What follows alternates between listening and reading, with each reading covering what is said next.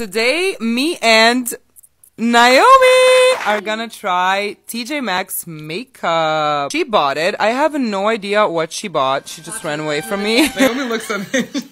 quirky. I got an e.l.f. primer. This is actually the prettiest one I found in TJ Maxx. It still looks really good, which I didn't expect. That was intense.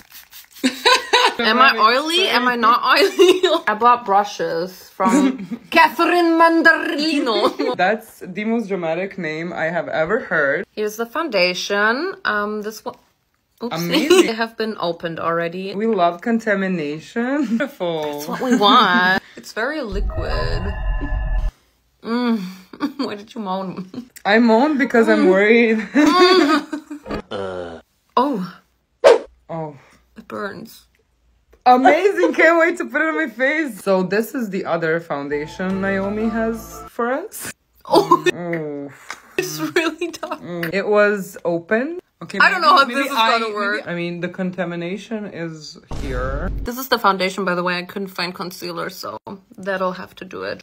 It's burning. Mm-hmm. So, Your skin looks so baggy. good. my skin looks good. Yeah. Can you just say it back? Slave. This foundation is our bronzer from Isadora.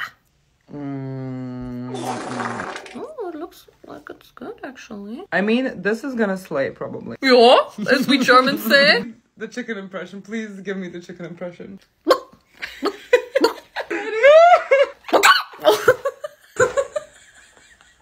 is escalating. Show people the powder you got. I don't know. Is this powder? I think it's like working. Let's not, please. What is it doing? Mm. That's what I'm, I think this is very. I'm giving very orange. I mean, it could be brighter for the under eye, to be honest. We're gonna try. This is the palette we're gonna use. We're gonna try. What? Not the snake. That smells so intense. Ooh. Perfume. Why is it so smelly? It actually smells a little bit like mom's makeup. So It's not doing anything to my under eyes. we need to our eyebrows and our eyes and Go watch part two. Naomi hates me.